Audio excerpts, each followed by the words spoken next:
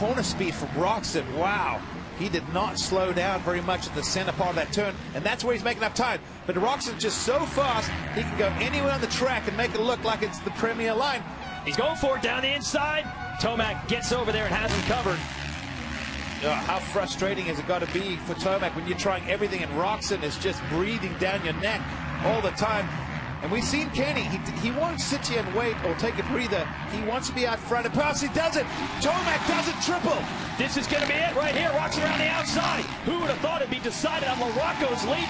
The biggest jump in this series, and Tomac did not jump it, and Roczen's into the lead. Yeah, that's a big boo-boo there from Eli Tomac. You've got to jump Larocco's Leap on a 450 pretty much every lap, and that was a little mistake.